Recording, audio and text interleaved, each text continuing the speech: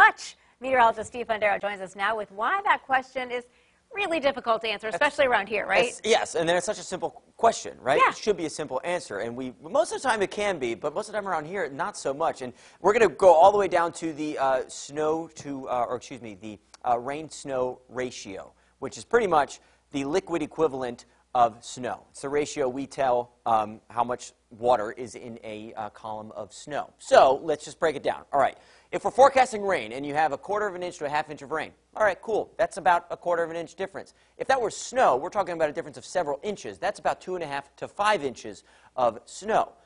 Long story short, small changes in liquid amounts mean big changes in snow amounts. So if you got a tenth of an inch of rain in your neighborhood and I got a tenth of an inch more, that's not a big deal. But that could be the difference, if it's snow, that could be the difference of several inches. So that's why when forecast models come out, there are big changes because small volatile changes in the liquid amounts can mean big changes in the snowfall amounts. I mean, that's the difference of saying, like, oh, you'll get a coating, two neighborhoods down could get several inches of snow.